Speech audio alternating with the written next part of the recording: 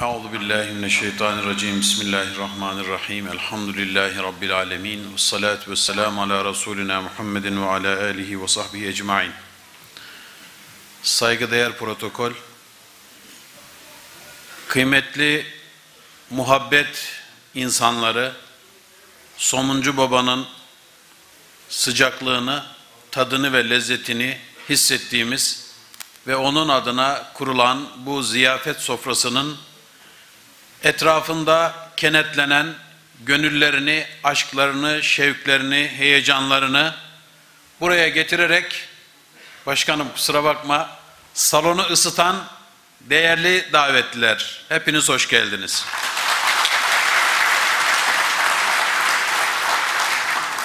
Elimdeki dosyaya bakarak çok fazla şey okuyacağımı düşünmeyin. Çok fazla lafı uzatacağımı düşünmeyin. Ama böyle diyenlerden korkulur hocam. Öyle de düşünmeyin. Çünkü ben gecenin bu saatinde ne almak için buraya geldiğimizi biliyorum elhamdülillah. Bizim için alınması gereken birkaç altın öğüt vardır. Bendeniz yıllardır Somuncu Baba'yı okurken onları edindim. Onları hepiniz biliyorsunuz ama birlikte anmaktan, paylaşmaktan gerçekten manevi haz duyuyorum. Bu hazı birlikte yaşayalım yeter.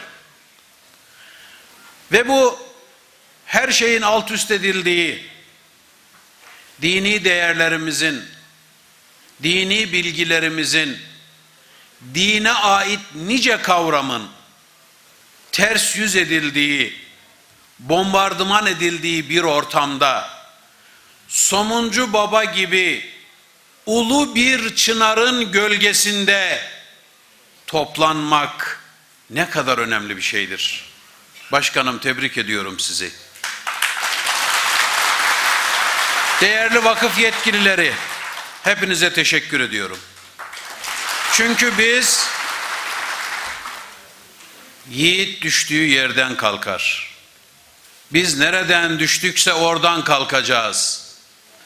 Bizim gönlümüzü, gözümüzü, midemizi, zihnimizi, maddemizi, maddemizi ve manamızı somuncu babalar doyurmuştu.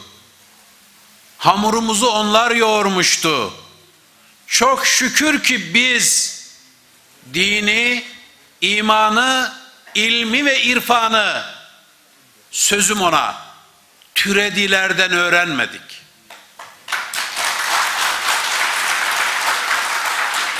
Eğer bu maneviyat erleri olmasaydı biz bugün kurda ve kuşa yem olurduk. Savrulurduk. Adımız bile kalmazdı bu coğrafyada. Neden Somuncu Baba'yı anıyoruz? Bu hem bir kadir şinaslıktır, hem bir vefakarlıktır, hem de hakkı teslim etmektir. Kılıç mı fethetti bu toprakları? Ahmet Hocam, kılıç mı fethetti? Gönüller kılıçtan önce fethe hazırlanmıştı da kılıç peşinden gelip o fethi kolaylaştırdı.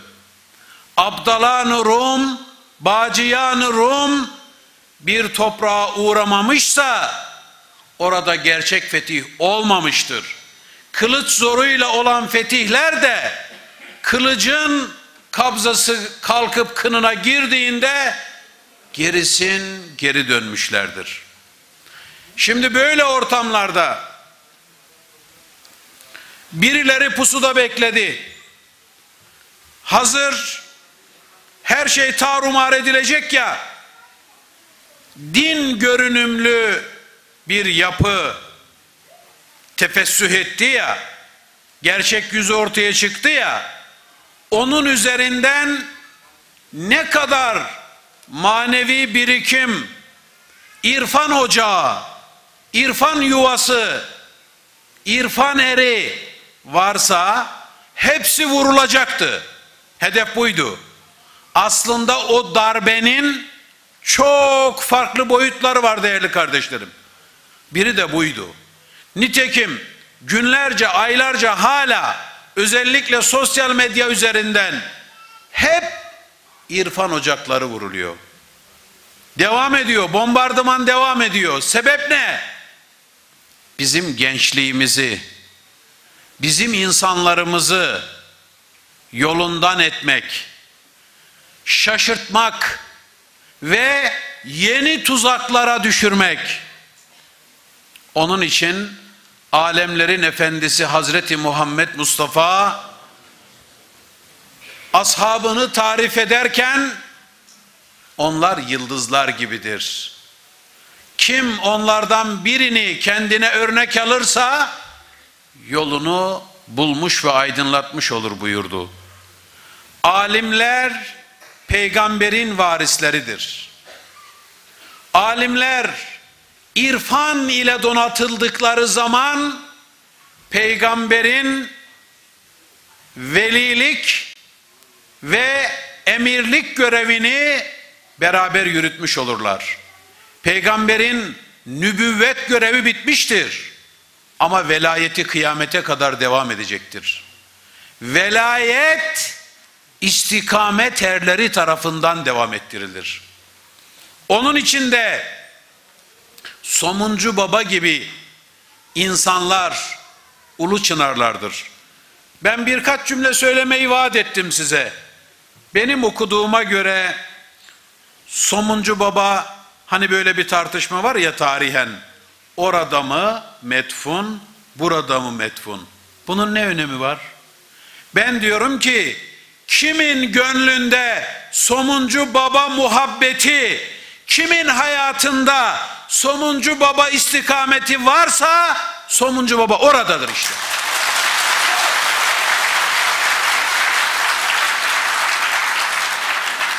Yoksa yoktur. Yoksa yoktur. İstediğin kadar kabir başına git.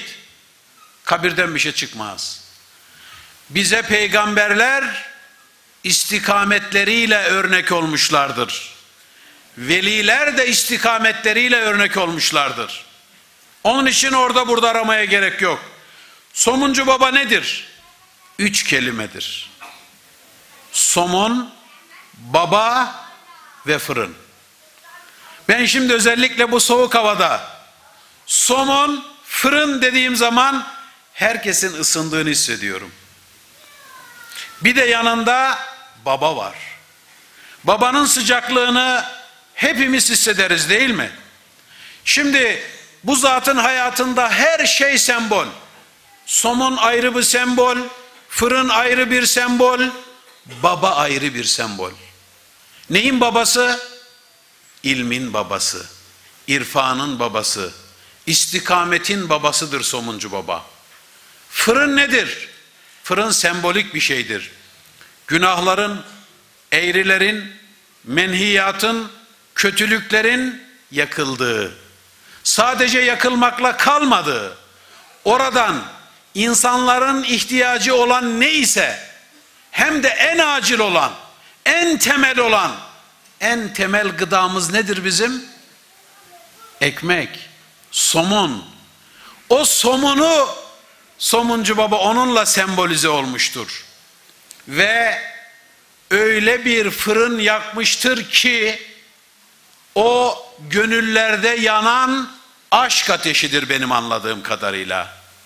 Öyle bir fırındır ki o hala devam etmektedir. O pişen ekmekler Bursa'da değil. Kim ondan nasiplenirse onun evindedir, onun ocağındadır, onun bulunduğu yerdedir. Somuncu babanın millete ve ümmete Allah'ın büyük bir lütfu olduğunun, kabul olmuş bir dua olduğunun en büyük göstergesi nedir? etkilerinin kaybolmadan artarak devam etmesidir. Somuncu babanın yaktığı ateşin fırının hala devam ediyor olmasıdır. Her gönül ve irfan eri Bursa'da, İstanbul'da, Aksaray'da, Darende'de nerede olursanız olun o fırın hala çalışmaktadır. O mirasa sahip çıkanlar vardır. Kıyamete kadar da olacaktır. Çünkü bu bir menfaat davası değildir. Bir dünyalık davası değildir. Bir samimiyet, bir adanmışlık, bir gönüldaşlık, bir Allah'a söz verilmişliktir. Bundan dolayı devam edecektir ve etmelidir. Somuncu baba nedir? Aşktır. Somuncu baba tüten bir ocaktır. Somuncu baba sadece gökte değil, yerde bir yıldızdır. Somuncu baba istikamet eridir. Somuncu baba hakikat, şeriat, marifet, tarikat dörtlüsünü şahsında ve zatında cem etmiş bir Müslümandır. Dört özelliğini ben söyleyebilirim. Bunlardan birisi müteşerri mutasavvıf olmasıdır. Çok önemli bir şey budur Somuncu Baba'nın hayatında. Bir zamanlar tasavvufa Hint felsefesinden yeni eflatunculuktan bir takım şeyler karıştı. Baktı ki İslam alimleri çok fazla felsefi şeyler karışarak bu sisteme Hazreti Peygamber'in ümmetine emanet ettiği zühd, takva kısmı kayboluyor. Teorik tartışmalar artıyor. Batıni düşünceler hakim olmaya başlıyor uçanlar, kaçanlar. Tasavvuf uçmak ve kaçmak değildir. Tasavvuf ayakları yere basan bir sistemdir. İnsanlar içindir, akıllılar içindir. Aklını kaybedenlerin yeri değildir. Bu uçuk ve kaçık şeyleri ortadan kaldırmak için mutasavvıfları tasnif ettiler. Müteşerri ve müteşerri olmayan diye. Müteşerri ne demek? ayağının sabit kısmı şeriat üzerinde olan mutasavvıflara müteşerri dediler.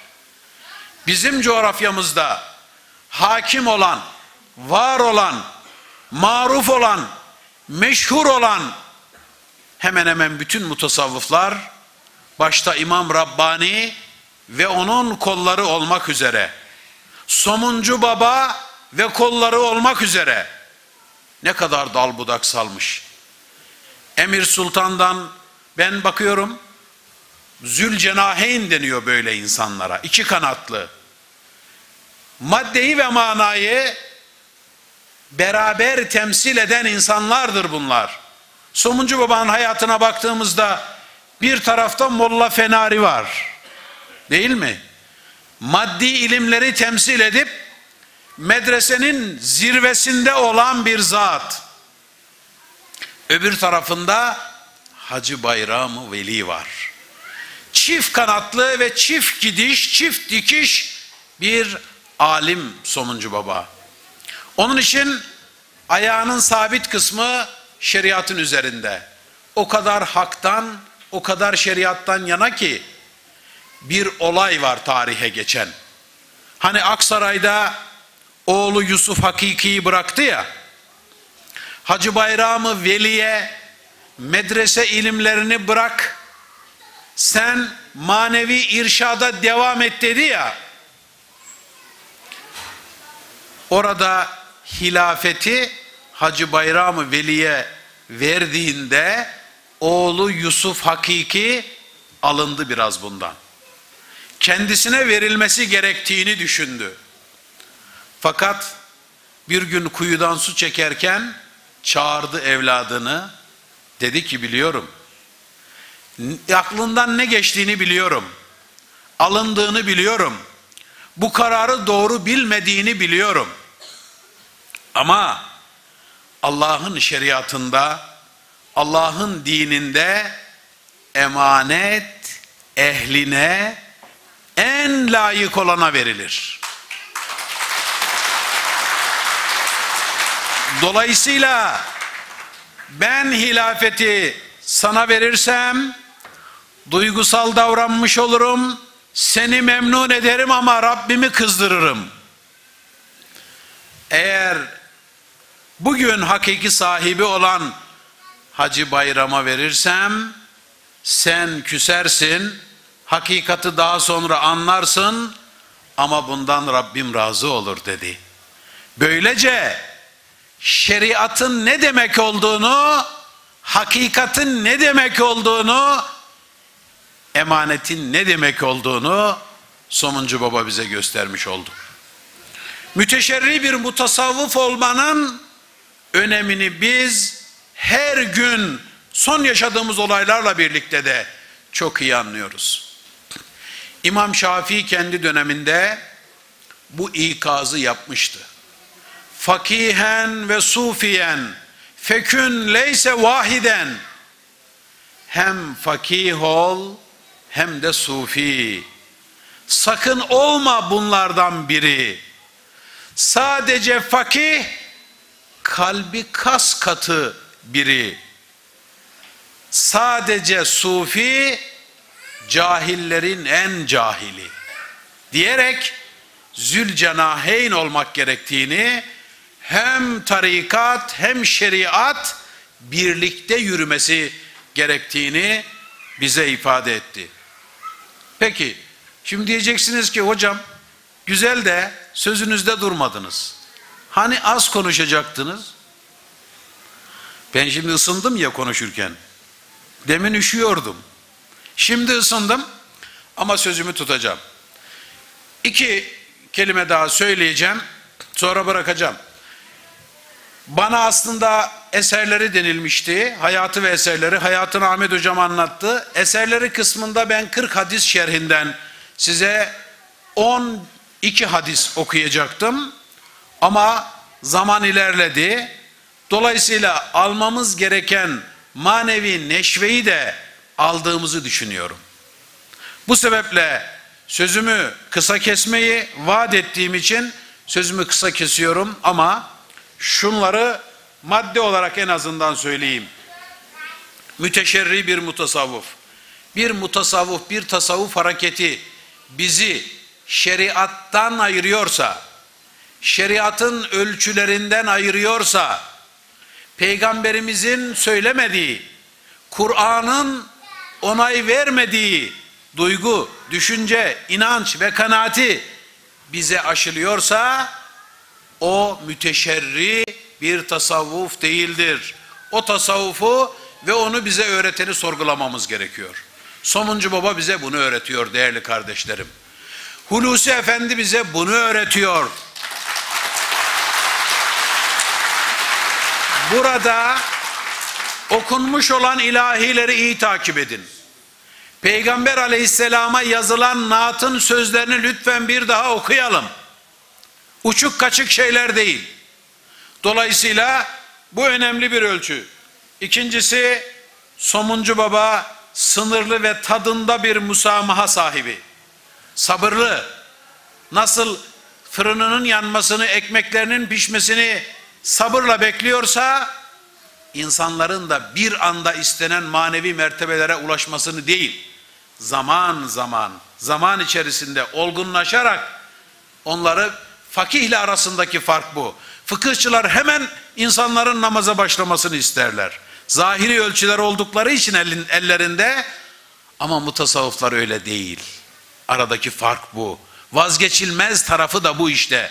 Hiçbir fakihin meyhaneye gidip de son yudumunu çeksin sonra ben onu çekeyim diye beklediğini göremezsiniz.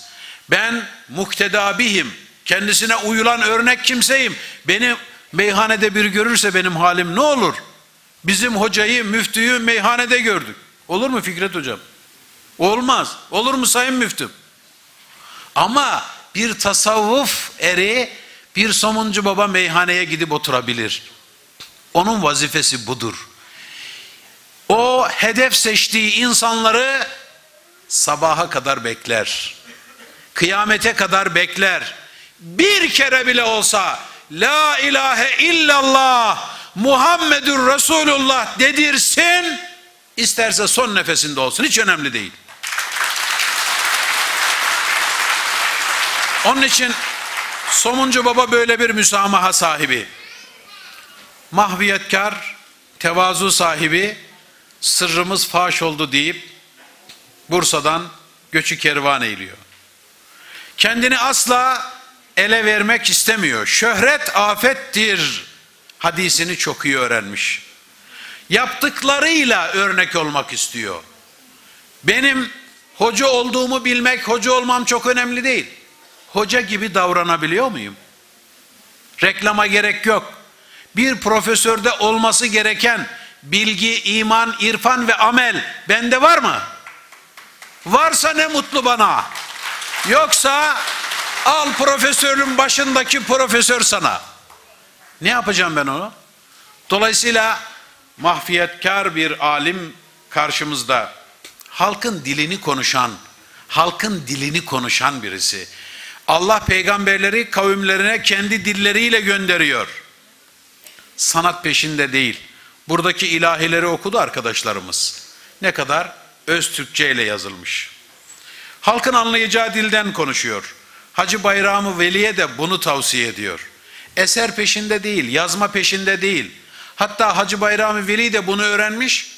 Kendisine yazıcı oğlu Muhammed Bican, Muhammediye yazarı kitabını getirip takdim ettiğinde diyor ki, Muhammed keşke bununla uğraşacağına bir gönle girseydin, onu fethetseydin, bununla uğraşmaktan daha iyiydi. Çünkü bunun biraz da şöhret tarafı var ondan kaçınıyor. Halkın dilini konuşuyor. Hacı Bayrami Veli de öyle. Son olarak mütevazi kişiliği ve tok gözlü olması. Gözü halkın cebinde değil. Daima veren, almayan birisi. Hocam himmetten mimmetten bahsetti. Himmet ediyor. Himmet toplamıyor. Aradaki fark bu. Dolayısıyla ben son olarak diyorum ki Allahum merzukna hıfzel murselin. Allah'ım bize peygamberlere verdiğin hafızayı, zekayı, kendini korumayı ve istikameti ver. Ve ilhamel enbiyai ve fehmel evliyai. Alimlere, ariflere, büyük tasavvuf insanlarına vermiş olduğun güzel ilhamları bize de ver. O keşfiyatı bize de nasip eyle. Önce keşf, kendimizi keşfedelim. Yanlışlarımızı keşfedelim. Sonra doğruları keşfedelim. Somuncu babaların yaptığı gibi yanlışlarda ısrar etmeyelim. Yanlışların yerine doğruları koyalım. Böylece Somuncu baba ilelebet yaşasın. Fırın daima tütsün. Somunlar daima pişsin. Allah'a emanet olun.